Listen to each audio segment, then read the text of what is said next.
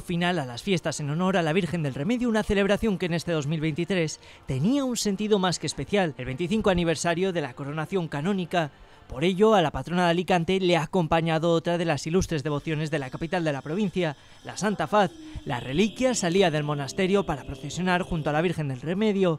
La patrona que lucía en su día grande la misma saya que llevó en su coronación pontificia, diseñada por Pepe Espadero y bordada por la Real Archicofradía, un manto de tisu de plata en hilo de oro.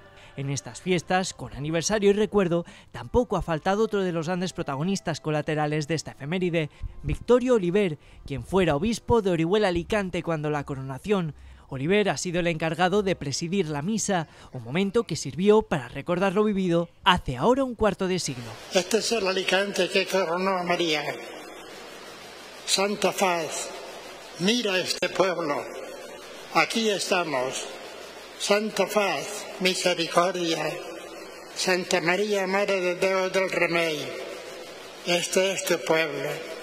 Al buen alicantino le suena bien en su corazón la unión de misericordia y remedio.